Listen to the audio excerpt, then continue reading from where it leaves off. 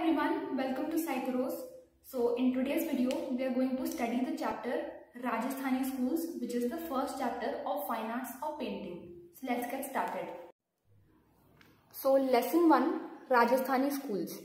तो सबसे पहली चीज़ राजस्थानी स्कूल को राजपूत स्कूल्स भी कहा जाता है ठीक है ये बहुत इंपॉर्टेंट चीज़ है सो फ़र्स्ट टॉपिक बैकग्राउंड अब सबसे पहला क्वेश्चन है कि राजस्थानी स्कूल फ्लरिश कब हुआ था?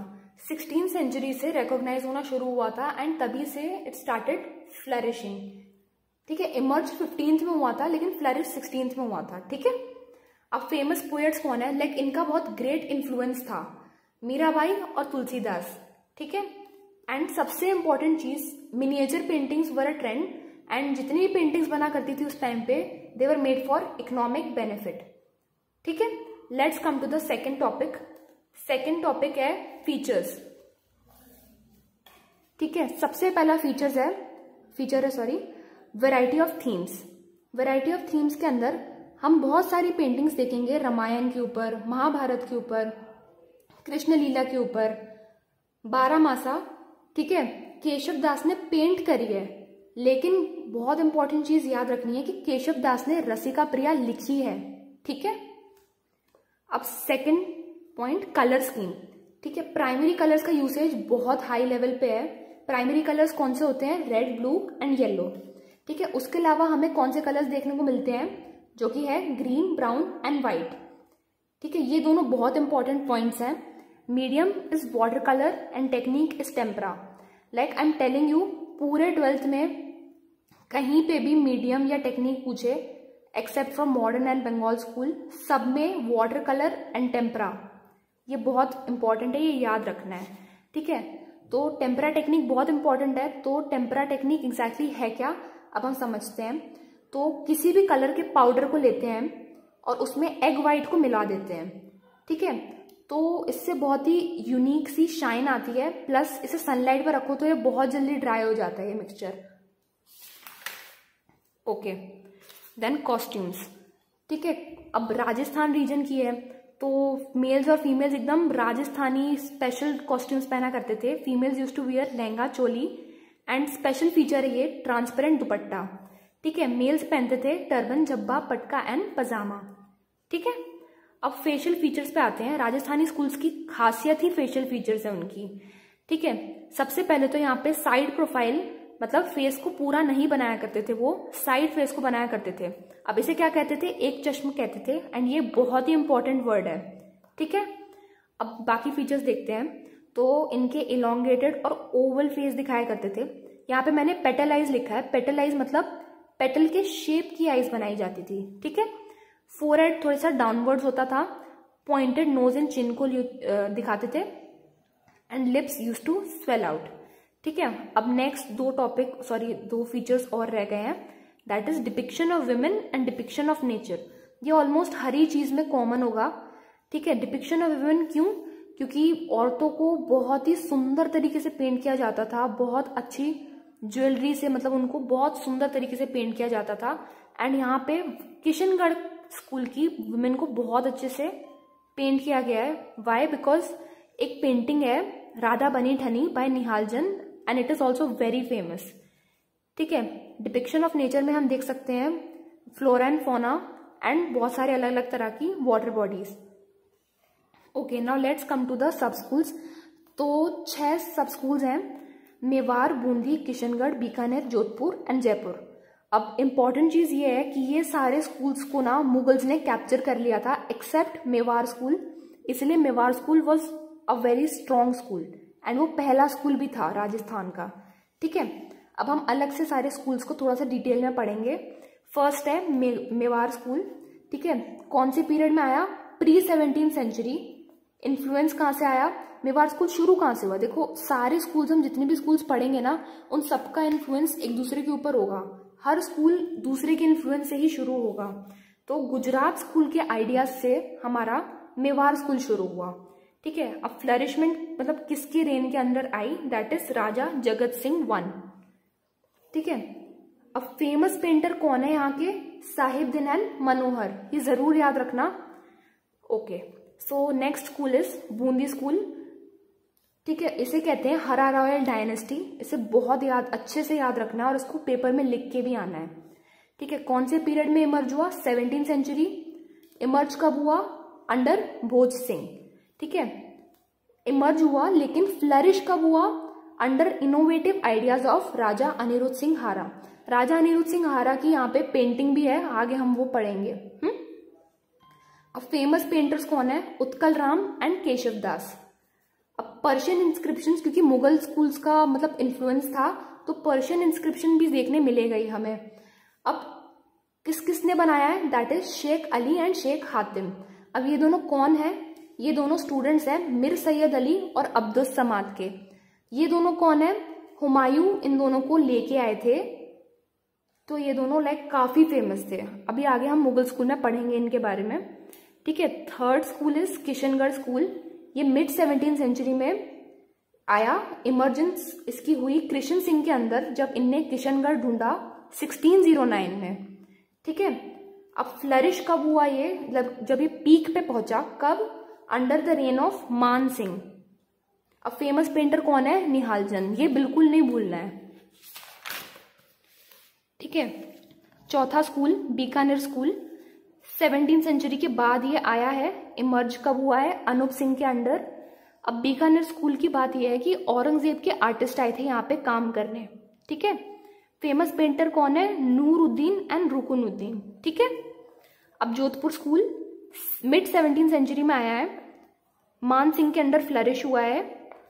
थीम्स इसके क्यों लिखे हैं मैंने? क्योंकि जोधपुर स्कूल का ना स्टाइल थोड़ा सा अलग था बाकी स्कूल से। ठीक है? ढोला मारू एंड शिवपुराना अब जयपुर, जो कि हमारा लास्ट स्कूल है, ये 1727 मेरे को देखो हर सबके ईयर्स अलग से स्पेसिफिकली नहीं मिले। इसका मिल गया तो मैंने लिख दिया यहाँ पे। अब फ्लरिश कब हुआ है जयपुर स्कूल अंडर सवाई जयसिंह। ठीक है? अब लेकिन जयपुर सबसे पहले तो अजमेर से बना है। ठीक है, ये याद रखने वाली बात है। कैपिटल हुआ करता था अजमेर अजमेर से जयपुर बनाया गया। ठीक है, अब यहाँ पे आप एक टेबल देख सकते होगे। ये टेबल आपको भी बनाना है। लाइक नोट्स लिखो ना लिखो, ये टेबल ज़रूर बना देना, क्योंकि इससे पेंटर सब स्कूल और पेंटिंग ये सारे चैप्टर्स में बहुत काम आएगा। ठीक है? Okay let's come to the paintings Maru Ragini हमारी पहली पेंटिंग है। This is from Mewar school and इसे बनाया है साहिब दिन ने। तो ये रागमाला सेट ऑफ़ पेंटिंग से बनाया गया है। शुरू की पेंटिंग में लाइक पेंटिंग के ऊपर के पार्ट में हमें देवनागरी इंस्क्रिप्शन देखने को मिल रहे हैं। अब उसमें क्या लिखा हुआ है? जो मरु थी, उनकी ब्यूटी के बारे में बताया गया है और जो इफ़ेक्ट था ढोलाश्री के ऊपर। So basically this was a love story between a prince and princess तो ये ईवल सोसाइटी बहुत सारे एक्सीडेंट्स मतलब they had to undergo so much to be together hmm? अब इस पेंटिंग के फीचर्स क्या है? सबसे पहले तो हम देख सकते हैं कि ये येलो सा बैकग्राउंड है एंड साइड में रेड कर्टन लगे हुए हैं। ठीक है? तो इस पूरी पेंटिंग में रेड ऑरेंज और डार्क ग्रीन का बहुत यूसेज है। क्यों? यहाँ पे दोनों साइड में बहुत बड़े बड़े ट्रीज भी हैं। तो ये तीनों कलर्स बहुत है बैकग्राउंड में। ठीक है? सो एक डॉग है कैमल है और दो मेल स्कॉट्स भी हैं। उनके हाथ में स्टिक भी होती है। So they all are like going together क्यों? They are helping escape the prince and princess तो अब हम देख सकते हैं, डोला एंड मरु ने मरु ने लहंगा पहना होता है अंडोला ने बहुत मतलब उसकी स्वॉर्ड को बहुत ऐसा दिखा रहा है कि वो प्रोटेक्ट कर रहा है मरु को, ठीक है? Next painting is Raja Aniruddh Singh Hara ये बहुत ही इंटरेस्टिंग पेंटिंग है, क्योंकि सबसे पहले तो राजा अनिरुद्ध सिंह हारा बहुत ही ही वॉज़ वेरी यंग तो बहुत ही इनोसेंट सा लुक है उनके फेस पे। He is adorned with ornaments and एक तो ये मुगल स्टाइल में पेंट की गई है। लाइक like, जो उनने कॉस्ट्यूम पहना हुआ है that is typical Mughal style sword पकड़ी है हाथ में। जो हॉर्स का मुँह है, वो बॉडी से बहुत छोटा पेंट किया गया है। I don't know why but this is very noticeable on background is very dark कैसे बनाया गया है? Blue black and red colour से। Okay third painting Chaugan players इसे बनाई है दाहा ने बाय जोधपुर स्कूल ठीक है? अब इसमें सब पोलो खेल रहे हैं। छह फीमेल्स हैं टोटल छह लोग हैं, दो क्वींस हैं उसमें से। तो राइट साइड पे जो क्वीन है, वो ब्लू हॉर्स पे बैठी है एंड लेफ़्ट साइड में जो क्वीन बैठी है she is sitting on a white horse अब ये सब क्या है ना they are playing a game इसे बहुत ही इंटेंस तरीके से दिखाया। छह के छह लोग एक दूसरे की तरफ़ आई कांटेक्ट मेंटेन करके देख रहे थे। ठीक है? एक तो ये पेंटिंग बहुत सुंदर है क्योंकि छह लोग को बहुत ऐसे दिखाया गया है they are coming towards each other and they are fully adorned in jewellery and odhni भी है ठीक है? Then fourth painting is Krishna on swing ठीक है, इस पेंटिंग में बेसिकली बहुत ही मतलब थोड़ी सी सैड वाइब है। क्यों? क्योंकि सबसे पहले तो कृष्ण जी झूला झूल रहे होते हैं दूसरी गोपी के साथ। ठीक है and Radha is very sad and she is alone under a tree तो कृष्ण जी को कुछ रियलाइज़ होता है कि ये मैंने कुछ गलत कर दिया है। वो जाते हैं राधा के पास, लेकिन फिर भी कुछ होता नहीं है उस पूरी पेंटिंग में। So there is nothing special happening तो vibe is kind of sad soft tones का यूज़ किया गया इस पेंटिंग में एंड लाइन्स को भी ठीक है okay the most important painting of Rajasthani school is Radha Bani Thani ठीक है गवर्नमेंट ने एक पोस्टल स्टैम्प भी इशू किया था इसके लिए और एक और चीज़ मैं पहले लिखना भूल गई थी कि किशनगढ़ स्कूल का रूलर थे सावन सिंह ठीक है ये आता है पेपर में इसे ज़रूर लिखना है और सबसे पहली चीज़, आपके मन में क्वेश्चन आया होगा कि राधा बनी ठनी इतनी फ़ेमस पेंटिंग क्यों है? क्यों? क्योंकि she is very famous for her beauty and elegance अब हम इसके फीचर्स पढ़ेंगे। तो जैसे ही हम पेंटिंग की तरफ़ देखते हैं तो सबसे पहले आँखों पे नज़र जाती है। इतना डीप कर्व है आँखों का मतलब दे आर वेरी बहुत ही सुंदर तरीके से ड्रॉ किया गया है। Secondly exaggerated curve of the eyebrows मतलब हमने ये तो पढ़ा है राजस्थानी स्कूल के फीचर्स में कि लोग बहुत पेटल शेप की आईज बनाते हैं और बहुत you know thin lips pointed nose करते हैं। बट इस पेंटिंग में थोड़ा सा एग्जैजरेट करके दिखाया गया है and that is the beauty of this painting ठीक है, यहाँ पे भी पॉइंटेड नोज़ एंड चिन है। अब हम एक कर्ल देख सकते हैं मतलब उसके बालों का कर्ल उसके चीक्स तक जा रहा है। ठीक है थिन लिप्स है एंड उनके हाथ में एक लेफ़्ट हैंड पे लोटस है। And this painting is also very special क्योंकि इसमें बहुत सारी ज्वेलरी पहनाई गई है। ठीक है? Now coming to the last painting that is Bharat meets Ramayan Chitrakoot ठीक है, ये ऑब्वियसली नाम सुन के लग रहा है। रामायण से ली गई है। इसमें एक साथ नौ सीन्स को डिपेक्ट किया है। पूरे टोटल फोर्टी नाइन फिगर्स हैं। ये दोनों नंबर्स को याद रखना है हमें। ठीक है, और हम देख सकते हैं कि पूरे बैकग्राउंड में रेड और व्हाइट कलर के लोटस फ्लावर शो किए गए हैं।